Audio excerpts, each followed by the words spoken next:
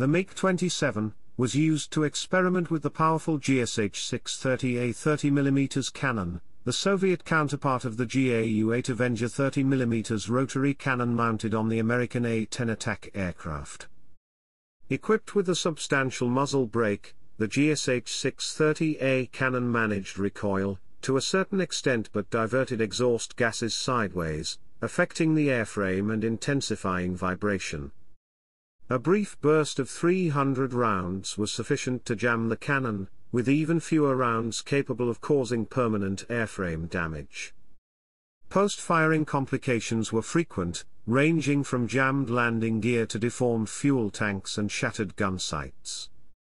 Electronic systems bore the brunt of the vibration, frequently sustaining damage that incapacitated critical functions, such as computers, lighting, gyroscopes, and communication equipment.